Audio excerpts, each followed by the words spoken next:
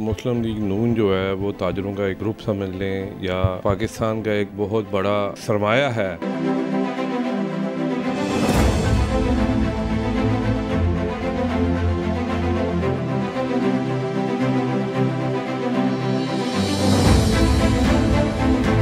इससे पहले जो हुकूमत थी, जब ये लोग गए थे, सेवेंटी फाइव रुपीज़ में पेट्रोल था, आप कंफर्म करें, और एक सौ पाँच रुपये में डॉलर था। और इसी तरह सोना साठ पैंसठ हज़ार रुपये तोला था, जो टैक्स किसी को एक साल में पंद्रह हज़ार आ रहा था, अब एक लाख पंद्रह हज़ार आ रहा है, ये तीन साल में।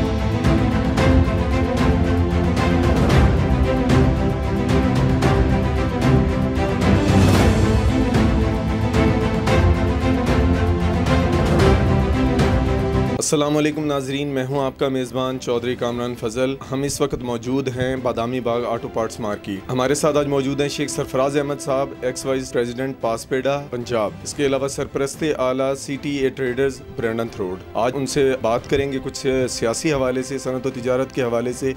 असल शेख साहब वालेकुम अस्सलाम शेख साहब जैसे आपको इल्म है कि नवाज़ शरीफ साहब इस वक्त वापस आ चुके हैं मुझे बताइएगा कि उनके आने के मुल्की सूरत हाल पर क्या जो सियासी सूरत हाल है सनती सूरत हाल है क्या असरात मुरतब होंगे?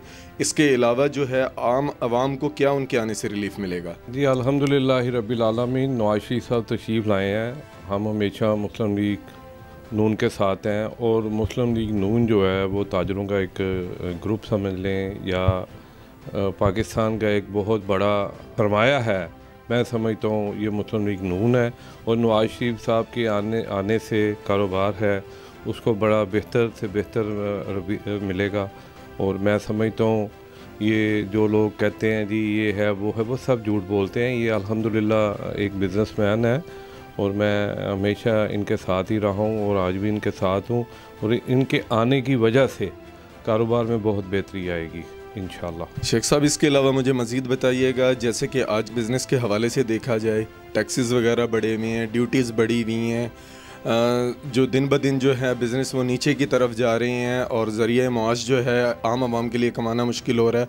मुझे बताइएगा इसके लिए हमारे जो बिज़नेस लीडर्स हैं, उनको क्या इकदाम करने चाहिए और हमारी गवर्नमेंट को ख़ास तौर पर क्या इकदाम करने चाहिए? जी अलहमदिल्ला जी, मैं यही कहूँगा, ये जो टैक्सीस लगे हुए हैं, ये सारे आपको पता है, इससे पहले जो हुकूमत थी, जब ये लोग गए थे, जब इनको उतारा गया था, सेवेंटी फाइव रुपीज़ में पेट्रोल था, आप कंफर्म करें।